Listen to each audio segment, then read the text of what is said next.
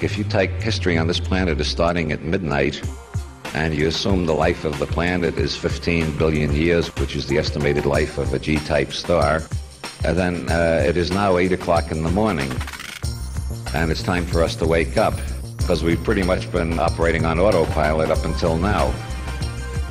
And there are signs of planetary awakening. Domesticated primate psychology remains pretty much the same as it was in the Paleolithic, but one sees increasing evidences of mutations. There was only one Buddha 2,500 years ago. Now you meet five or ten Buddhas in every city you go to. Knowledge, wherever it's discovered, is traveling over the whole world faster and faster. The possibility of changing consciousness was discovered in the Orient 2,500 years ago at least, probably it's older than that, but techniques were discovered to quiet the mind, pacify the mind, remove emotional compulsions, and these were organized into the science of yoga. As John Lilly says, yoga is the science of the East, as science is the yoga of the West. Science is a yoga too. Science is a way of trying to reach an objective level in which your emotional compulsions and prejudices aren't twisting all the facts to fit in with your favorite reality tunnel.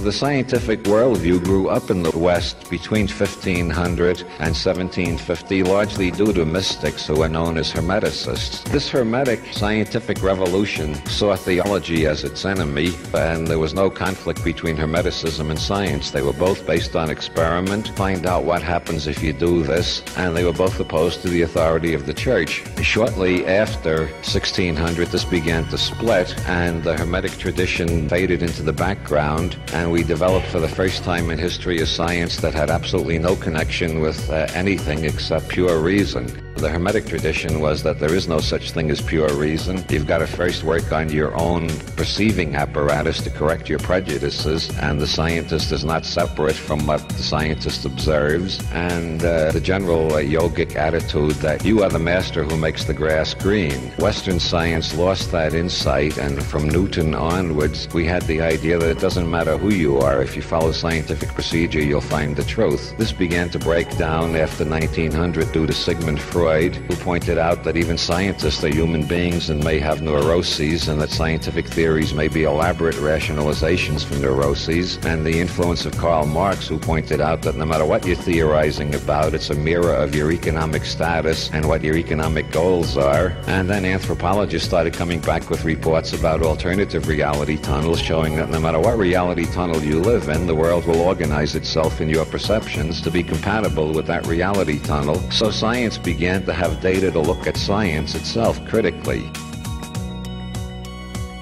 That's how intelligence increases when intelligence looks at intelligence and criticizes intelligence. So we got to the point where we could look at science and say science is the product of people. People are doing this, and their prejudices are getting into it. And it's not just enough to say, I will be objective. You've got to learn to change yourself from the inside out before you can even begin to approximate toward objectivity. How do you do that?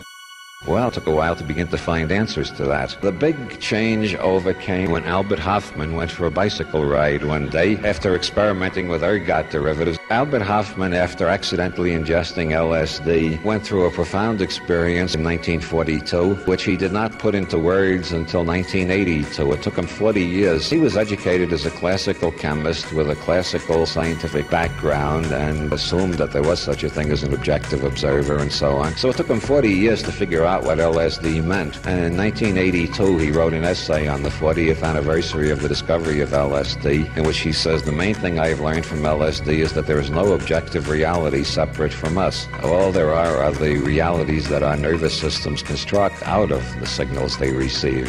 This became obvious to others due to the things that were happening in quantum physics from 1900 on. In the doubling of knowledge between 1900 and 1950, physicists discovered that the atomic world is just not describable in terms of Aristotelian logic. For one thing, you can't describe anything on the quantum level accurately unless you include the observer in your picture. So quantum physics turned out to be saying exactly the same thing that the psychedelic revolution was saying, that there is no objective reality separate from us. All we know is the reality that we are co-creators of, the reality perceived, conceived, put together by our nervous systems. And at this point, it becomes obvious that intelligence can be be raised. Consciousness can be altered. Nothing is static. All we've got to do is learn how to change our nervous systems, and we can go to wider and wider reality tunnels and bigger and bigger levels of perception and so on. And so there was a great deal of drug research, and a lot of people were getting uh, a lot of radical ideas, and so the government made it illegal, which is the natural thing to do if you're a politician. The last thing you want is intelligence increase.